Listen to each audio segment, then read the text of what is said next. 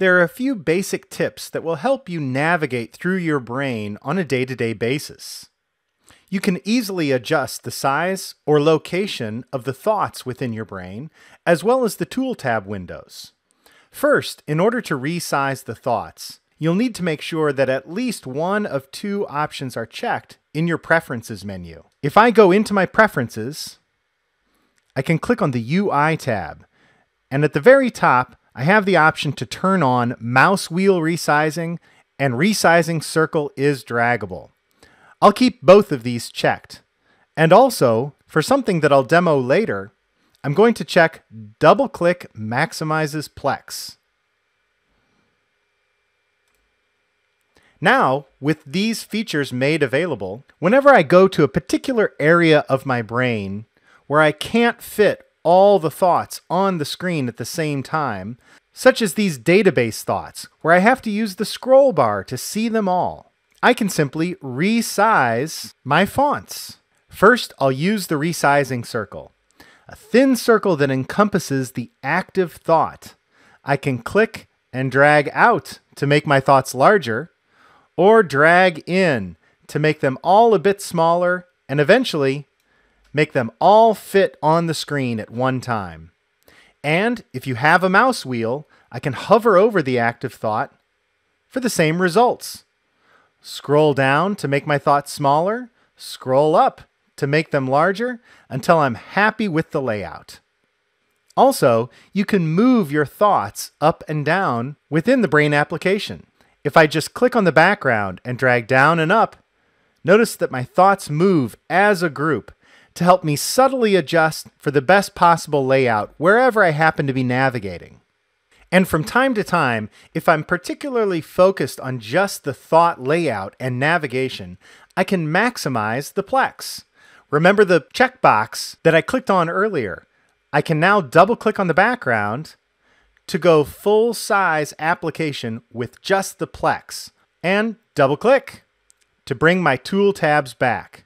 Additionally, there's a small icon in the upper right hand corner that has the same functionality. Click to maximize the Plex, click again to bring the tool tabs back. And let's talk about moving the tool tabs as well. I'm currently in the default layout, notes on the left and my remaining tool tabs on the right. If I move my cursor on the line between my tool tabs and the Plex, I can drag up and down to give these a bit more real estate.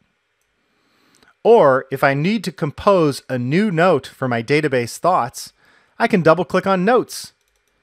And now the full application is my note screen, and I'm ready to start writing. And when I'm done, I'll simply double click again to bring everything back to normal.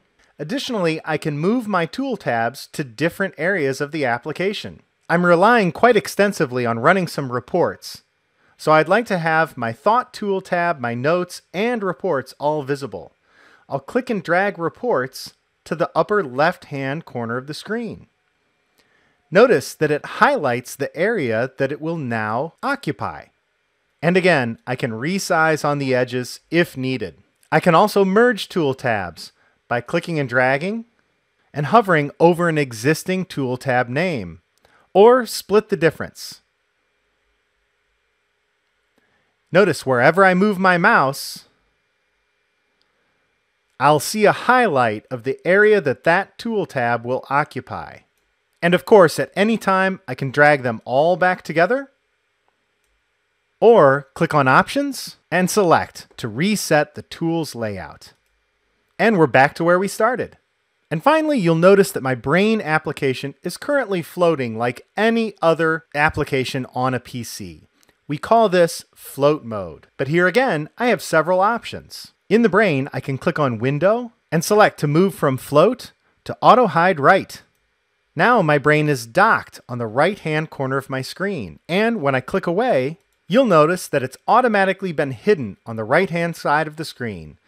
Just click on the button to reactivate and open the brain at any time. And I can move the brain either from screen to screen or in different locations of my main screen.